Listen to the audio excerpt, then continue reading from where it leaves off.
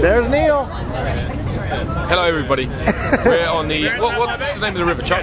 The river is the New Pao. We're on the New Pao River in Shanghai, December 2008. 2008. Uh, on a it's, it's kind of like one of those Chinese junk ships that you Yes. hear about. Um, we just had some really, really dreadful, dreadful crap food. Once again, Yeah, and look at the size of the beers. Look at the size of the I know. See that? So they do keep filling them up. Everything's miniature. Even the plates, the cutlery, even the glasses. It's all made for little small